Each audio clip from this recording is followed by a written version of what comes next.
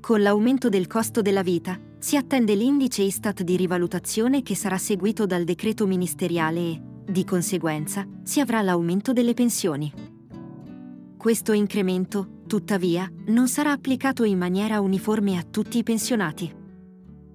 Anche nel 2024, infatti, verranno applicate diverse fasce e un possibile decalage, ovvero una riduzione. A gennaio, i pensionati con un reddito imponibile mensile fino a 4 volte il minimo, quindi fino a 2.272 euro, riceveranno un aumento pari al 100% del tasso di rivalutazione. Per le pensioni che vanno da 4 a 5 volte il minimo, ossia fino a 2.800 euro, il tasso sarà riconosciuto al 85%. Per chi guadagna tra 5 e 6 volte il minimo, la rivalutazione sarà del 53%, mentre per chi supera questa soglia fino ad 8 volte il minimo, il tasso scenderà al 37%.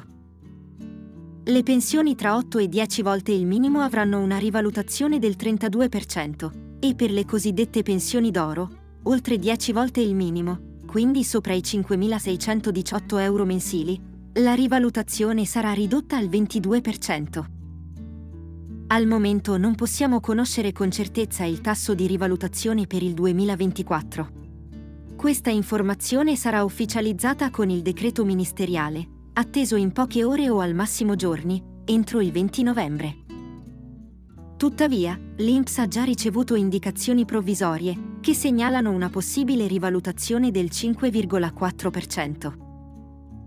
Questo dato emerge da una comunicazione via mail e da una verifica effettuata sul portale INPS, dove è visibile l'importo lordo previsionale per gennaio 2024.